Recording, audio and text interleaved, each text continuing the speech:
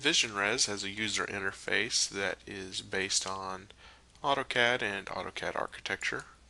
You can see at the top we have a ribbon, just like most current softwares.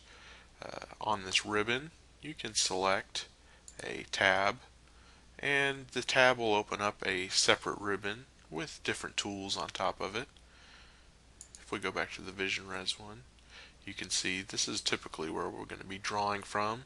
Sometimes these panels actually have a pull down with an extra set of tools within them. So sometimes they're hidden. And within the ribbon there are tools. And for the most part we will use this VisionREZ tab. And if we hover over one of the tools you can see it highlights in blue. And it also has a tooltip if you hover over it long enough and if you actually select it this accessories this will actually open up our tool palette with the accessory tools in it. And this tool palette is important and this is where we're going to be working from.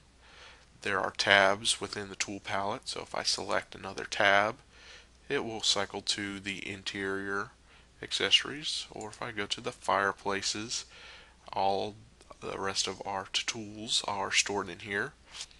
This tool palette can also be used to say set its transparency to something a little less and you can kind of see through it. Typically that's it eats up the video card just a little bit so typically we don't do that.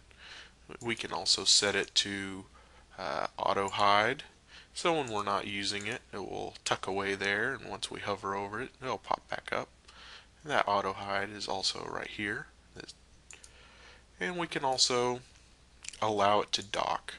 And so if I grab it I can move it over here and it will dock in the side of the screen. And that's typically what we're going to be working with